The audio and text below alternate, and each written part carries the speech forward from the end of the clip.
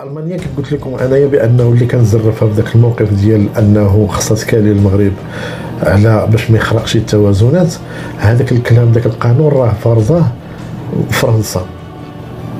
فرنسا هي اللي كانت فرضه هذا القانون. فين ما كتبقى تهضر شي دولة أوروبية اش كتقول لهم تقول لهم أنا عندي واحد المجموعة ديال الدول فرنسا هذه.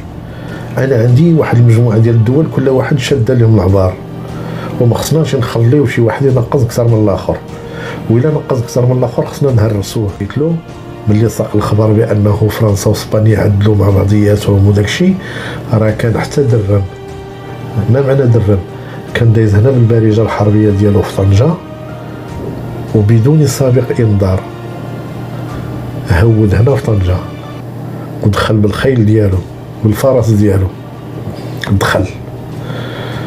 واستقبلوا السلطان مولاي عبد العزيز وكرموه ودخل في واحد الأبة هائلة غير ذلك. وهو اللي لا فرنسا وأسبانيا. قال لهم شكون اللي قال لي؟ قال لهم المغرب بلد مستقل. جابكم قاعدين كتقاسموا عليه. هذاك الملك ديال ألمانيا. الملك ديال ألمانيا. وقال لهم دابا غادي نتمحيو ديك الاتفاقية. وفعلا احتالوا عليه ديك الساعات. العقلية ديال الالمان ماشي هي العقلية ديال باقي الشعوب.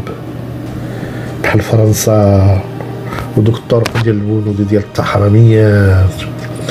وإلا كاينة شي صفقات كبيرة في شي دولة كتلجأ لديك الوسائل ديال الفلوس وتسجل ولا الفلوس والابتزاز ولا الفلوس وتقيد وهذا باش دوز لك الصفقة ضدك وضد المصلحة ديالك. ما عندهمش هما الألمان التحرميات راه ما كاينش.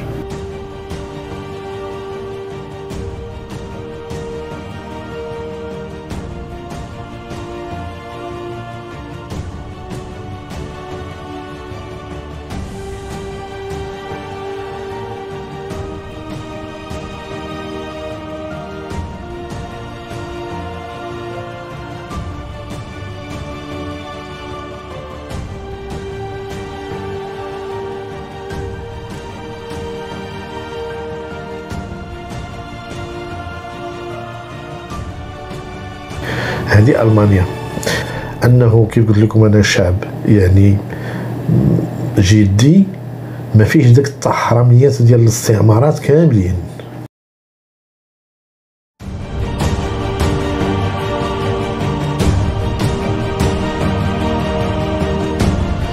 بسم الله الرحمن الرحيم. الاخوان والأخوات السلام عليكم ورحمة الله تعالى وبركاته. أه، أعتذر زعما على بعض التأخير. أحيانا نتوما كتعرفوا الجو ديال طنجة شي مرات الضربات ديال الشمس كتكون قاسية الجو ديالها صعيب كتكون سخون في الطوموبيل كتخرج في شي وقت. ولو غير نص دقيقة كيشويك الريح ديال البحر كيكون بارد. الجو متقلب. إلى غير ذلك هذا الشيء اللي عطى الله. فإحنا مضطرين هنا في طنجة. مضطرين أننا ما كينعاش مع راسك. ها الشمس قاصحة ها الهواء بارد ها أجي تضرك في هاد الضليلة تقدر تضربك فيها البرودة تنقص ديك الجهة تضربك شميشة وهي غادا. الحمد لله على كل حال. في هذه الحلقة إن شاء الله غادي نتكلموا على العلاقات المغربية الألمانية. ألمانيا واحد البلد متميز هو اللي غادي نركز عليه دابا. العلاقات الألمانية العلاقات المغربية الألمانية آه غير كانت تعرضات لواحد شوية ديال اللبس. أنا نشرح لكم شنو كان وقع حف ملي كان ديك رئيسة الحكومة اللي دازت راه كانت واحد الوقت كانت بدات عا كتخربق وكانت بدات شي كلام كيدور تما في ألمانيا بأنه آه، المغرب خاصنا ما نخليوهش. يكمل المسيرة ديالو ما يفوتش في السرعة يعني خاصنا نفرانيوه حفاظا على التوازنات.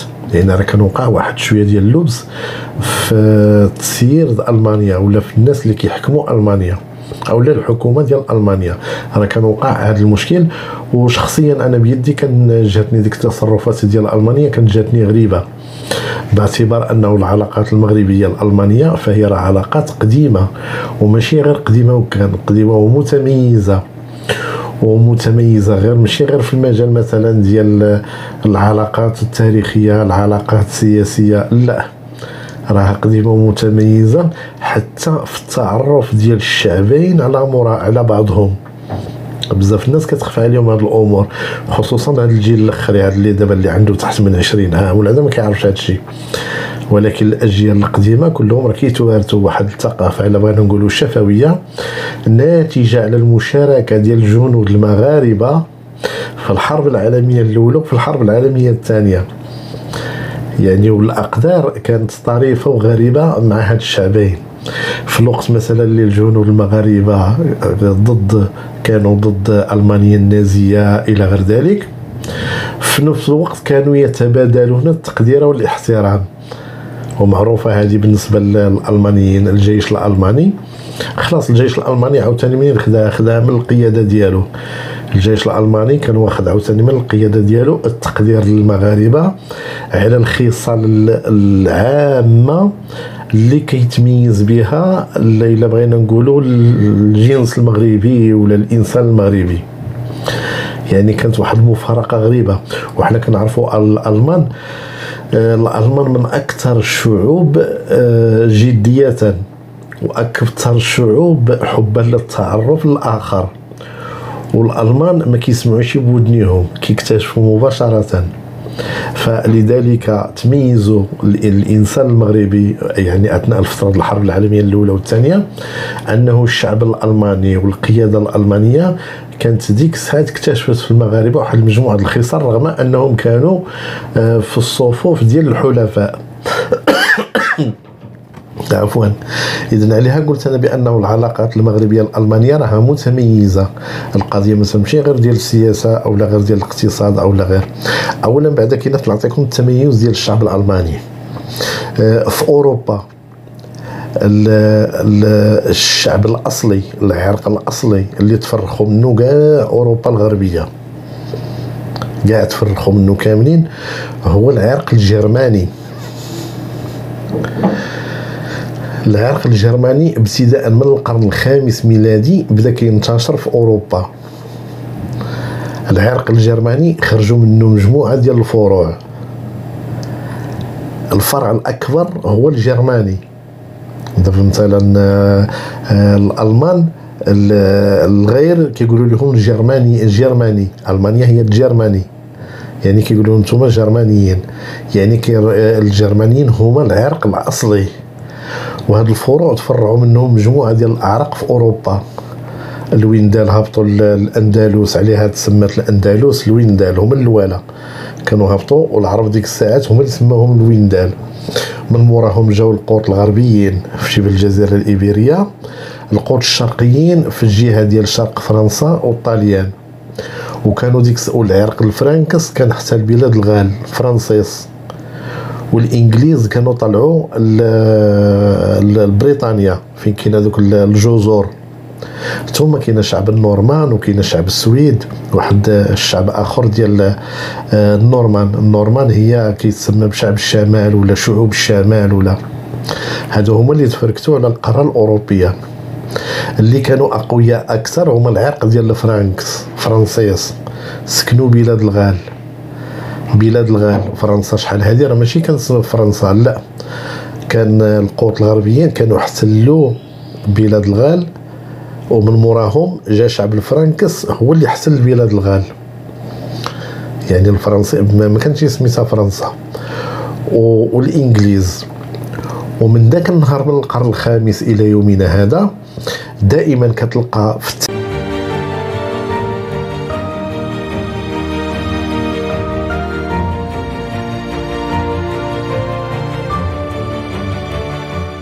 التاريخ ديالهم اللي كيحكم عندهم واحد اللازمة ضروري خصها تكون. الثلاثه الفروع اللي هما الكبار دائما كانوا كيتناطحوا بيناتهم عداوة تاريخية ما بين الألمان الجرماني الأصليين وما بين الفرنسيين فرنسا الفرنكس بلاد الغال وما بين الإنجليز. هاد الثلاثه دائما العداوة. ودائما كيتحالفوا ضد بعضهم. وفيما كيبغي شي واحد من هاد القومية يسيطر على أوروبا الثاني والثالث كيتحالفوا ضده. هذا هو التاريخ ديال أوروبا. دابا لو بغيتو تقراو التاريخ ديال أوروبا غتلقاو هذا هو التاريخ ديال واحد كيكون هو الأقوى دوليا حيت إلا كان أقوى في أوروبا كيكون أقوى في العالم. كيتحالفوا ضد الجوج. ضروري. باش يهرسوه باش يطيحوه الأرض. مثلا دابا في الحرب العالمية الأولى كانت تحالفت فرنسا مع إنجلترا ضد الجرمان. ومن التهم اللي كانت كتوجه ديك الساعة لهتلر شنو هي؟ كانوا كيوجهوا التهمه لهتلر وهو أنه كيقول لهم هذا كيحاول مع راساته إحياء الأمجاد ديال الإمبراطورية الجرمانية. هذه من الأمور اللي كانوا كيحشدوا لها أوروبا كاملة. كانوا كيعبئوا أوروبا كاملة ديك العرقيات ودوك الدول ودوك القوميات ودوك الجزر ودوك الكداول ودوك الروينة كاملة اش كيقولوا لهم؟ كيقولوا لهم هادو الألمان بغاو مع راساتهم يحيوا الإمبراطورية الجرمانية زعما هادو بداو يحكموا فينا. هذيك من الأسباب ديال التعبئة ديال كالاشكين ارى ردموها تاريخ الحقد التآمر الغدر الخيانة آه، سوء الأخلاق. هتلر النهار اللي كان غادي يتقاعد في الحرب العالمية الثانية راه كانوا ديك الساعات الإنجليز كيقولوا له حنا أحبابك كيقولوا له حنا معاك باش ترجع المسائل ديالك والأمجاد والعرق ديالك وأنت الواعر وأنت كذا عول علينا كون هاني وتمو غادا به مدردبن مدردبن مدردبن حتى خرج بديك الحرب ديال بربروسا هذيك ماشي غير حرب هذيك ملحمة طلع عليها شي جوج مليون جيش. حتى ملي غادي ينطلق هتلر ديك الساعات ملي اتصل بالحلفاء زعما راه اول على زعما الرجلة. اتصل بالإنجليز. اتصل كان ديك الساعة تشرشل شد التليفون وسكتو. وكاين عا الغدر ما بين هاد مذكورة في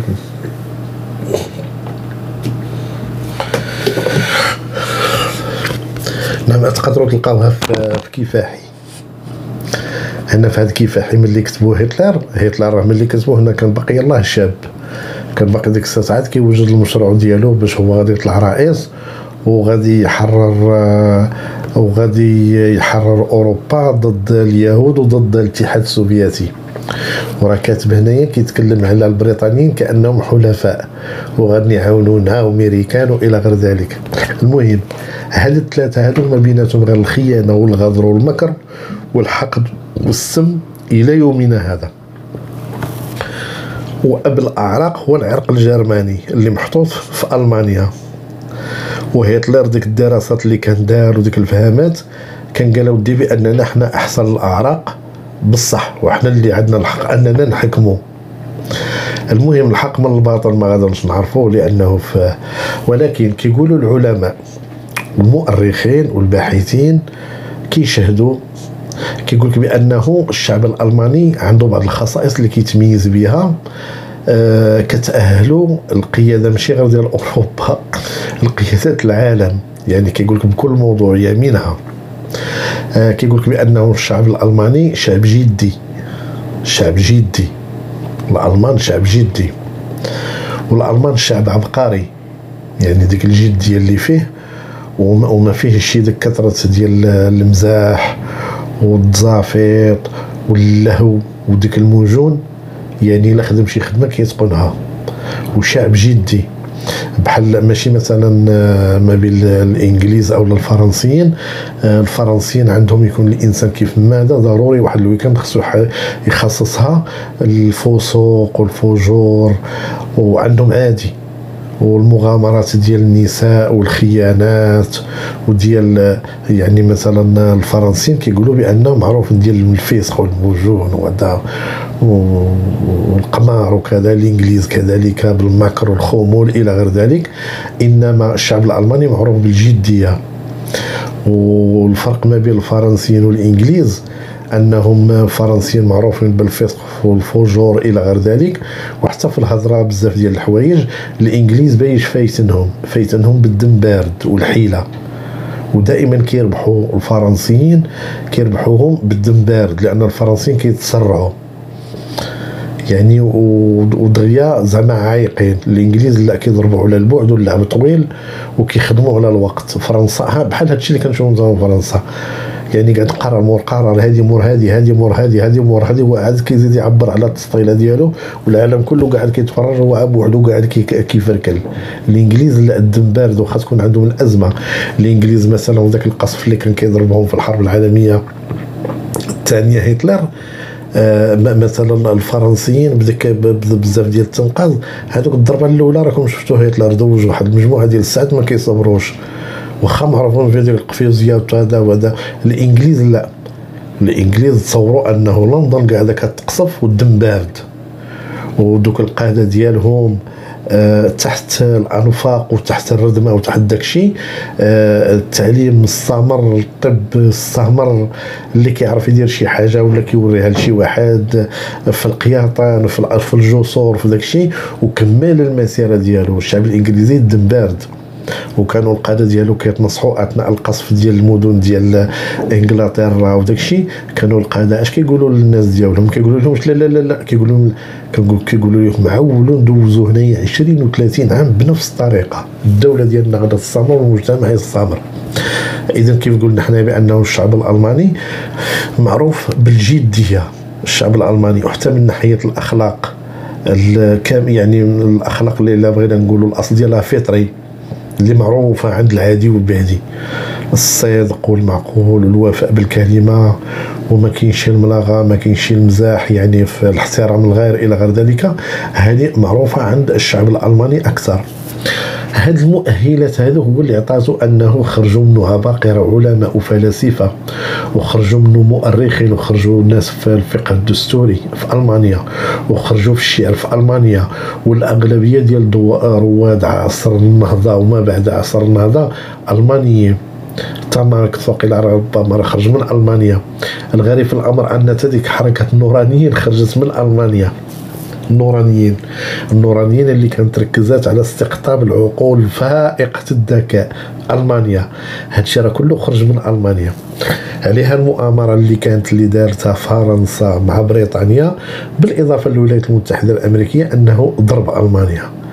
يعني كانت من الأهداف ديال النورانيين من النهار الأولي من 1770 من 1770 الأهداف ديال النورانيين أنهم أثروا العقول الألمانية وتخلقت تم الحركة النورانية والأهداف ديالها وهو أول شيء كان هو ضرب ألمانيا والقوة ديال ألمانيا باش ما يكونش عندها واحد الصفة ديال الريادة. رجعوا دابا حاليا حنايا العلاقه ديال المغرب بألمانيا. اللقاء اللي هو معروف ما بين المغرب وألمانيا هو الحرب. وفاش تلاقاو بانت كمال الأخلاق وحسن الأخلاق لا ديال الألمان ولا ديال المغاربة. المغاربة الألمان ضدهم المهم كيأديو الواجب ديالهم. وكيلاحظوا عليهم كيقول لك الشعب مزيان لا عمرها دار. وهادشي راه جاو كيعاودوه هما. الألمان عاود ثاني قاعدين كياكلوا الدق من عند المغاربة لأن المغاربة كانوا شاركوا مع الحلفاء. وفي نفس الوقت بقاو كيشاهدوا بأنهم ناس مزيانين إلى غير ذلك. اذا هذا اللقاء الأولي.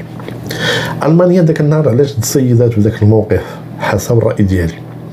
ألمانيا كيف قلت لكم أنايا بأنه اللي كان زرفها في ذاك الموقف ديال أنه خصها تكالي المغرب على باش ما يخرقش التوازنات هذاك الكلام ذاك القانون راه فرضاه فرنسا. فرنسا هي اللي كانت فارضة هذا القانون. فيما كتبقى تهضر شي دولة أوروبية اش كتقول لهم؟ تقول لهم أنا عندي واحد المجموعة ديال الدول فرنسا هذه أنا عندي واحد المجموعة ديال الدول كل واحد شاد لهم العبار. وما خصناش نخليو شي واحد ينقص أكثر من الآخر. وإلا نقص أكثر من الآخر خصنا نهرسوه. وإلا ما هرسناهش راه غادي يخلق لنا المشاكل.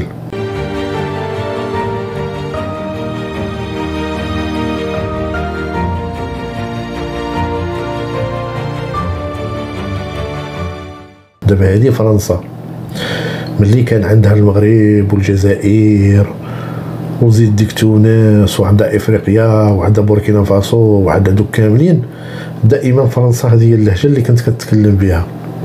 بأنه بحال هذوك وليداتي دايرة لهم الصف كل واحد محدد له الحدود ديالو وكل واحد ملبساه القياس ديالو وبالتالي أنا كنحافظ على التوازنات. فرنسا. ألمانيا شاده هاد الهضرة نفسها لأن كيف قلت لكم أن الألمان راه أكثر جدية. عليها ألمانيا مشات في هذا الموضوع هذا. بمجرد ذاك المراكز ديال البحث أحد المراكز بدأ كيدرس كيقول لك ودي المغرب راه بدأ كيخشي يدو هنا بدأ كيدخل يدو هنا. عاوتاني ها هو دخل هنا ها هو لقيناه دخل هنا مع هادو مع هادو مع هادو مع هادو.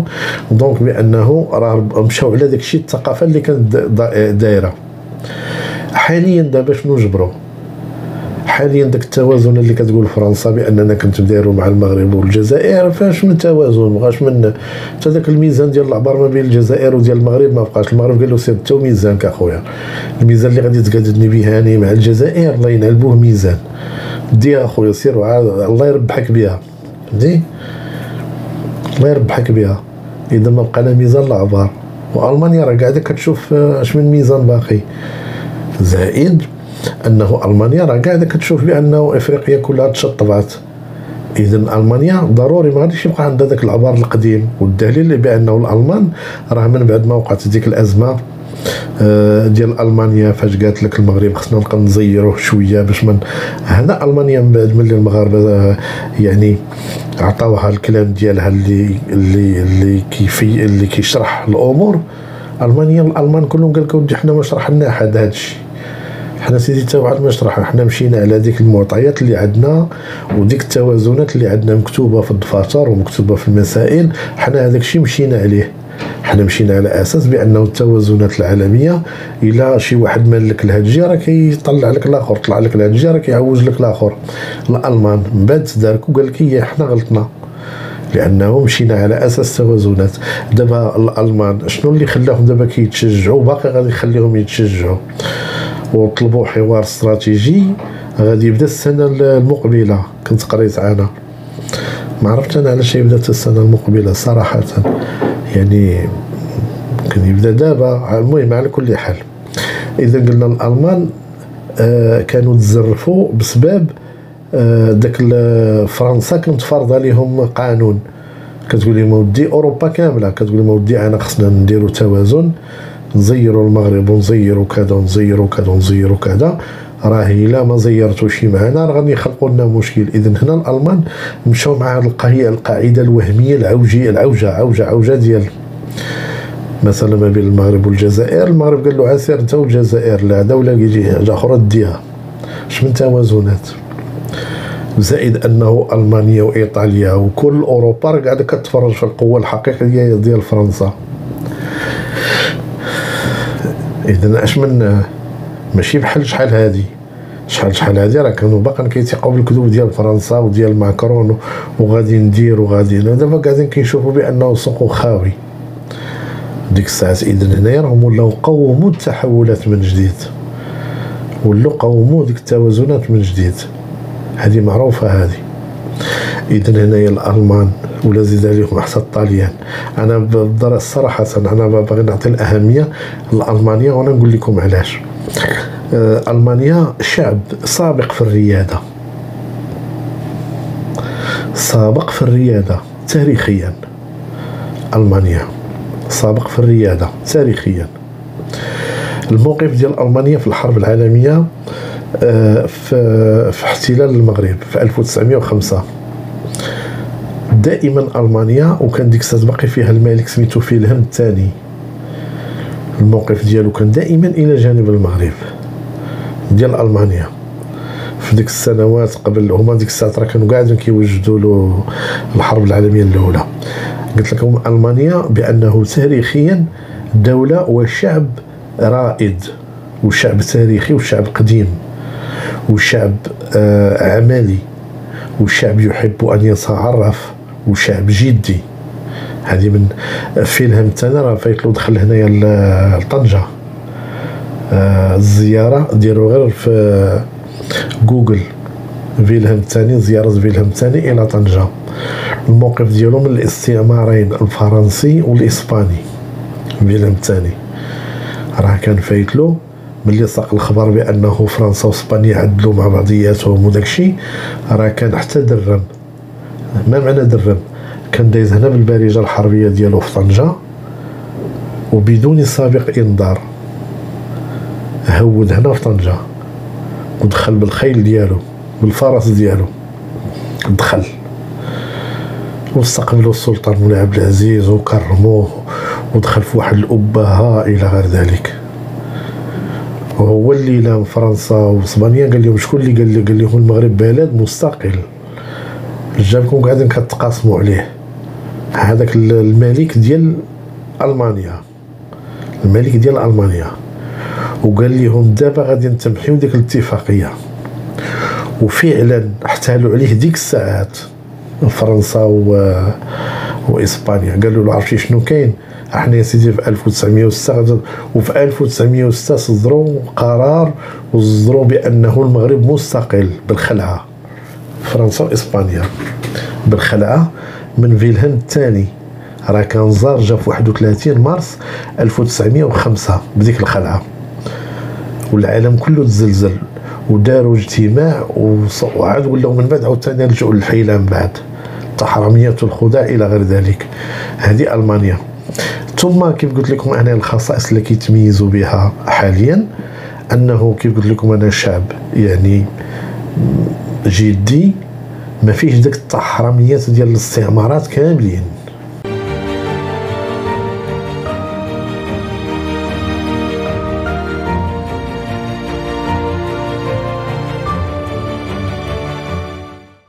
أنه كيف قلت لكم أنا شعب يعني جدي ما فيش ديك التحرميات ديال الاستعمارات كاملين.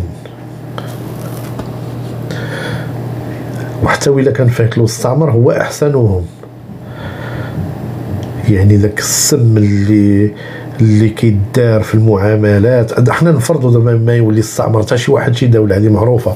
ولكن في المعاملات التجارية مع العالم العقلية ديال الالمان ماشي هي العقلية ديال باقي الشعوب. بحال فرنسا ودوك الطرق ديال البنود ديال التحرميات.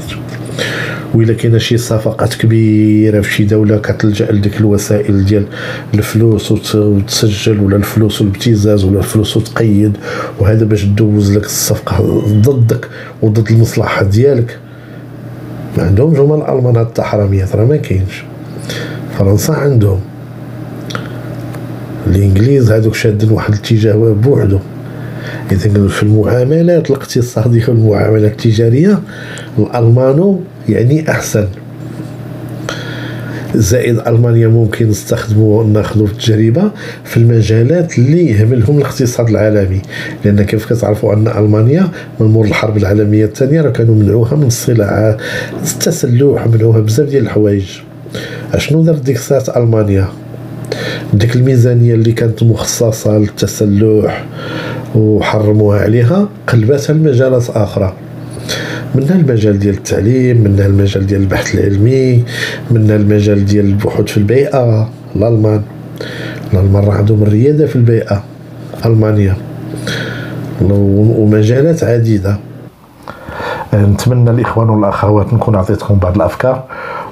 دمتم في رعاية الله والسلام عليكم ورحمة الله تعالى وبركاته.